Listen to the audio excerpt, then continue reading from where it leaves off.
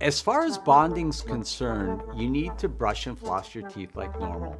The only restriction is you cannot bite really hard things right on the bonding. And if you're careful about that, it can last way longer than seven years. So we can do something called direct bonding.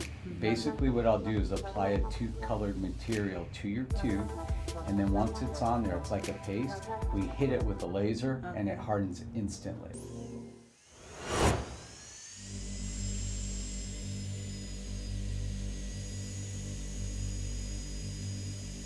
In order to enhance the bond strength and bonding, we roughen the surface of the tooth.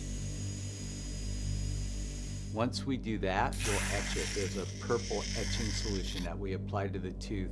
And what that does is that creates a, a kind of a lattice of, of a micro etching in the tooth. So you, you create these little micro porosities actually in the tooth.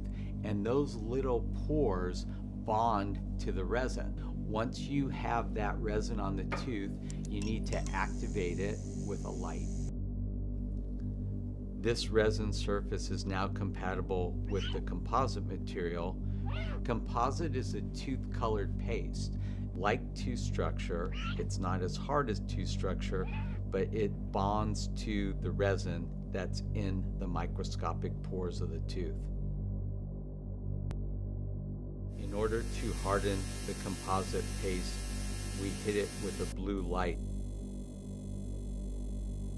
Once the composite material is solid, we go ahead and shape it and polish it to look as much like a natural tooth as possible.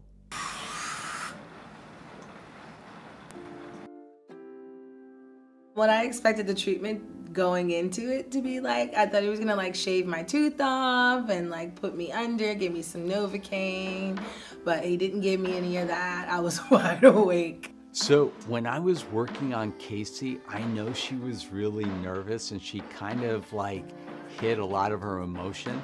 But as soon as the cameras went away, she gave me a big hug and kiss and said, Dr. Bill, I love my smile. And that made it all worthwhile.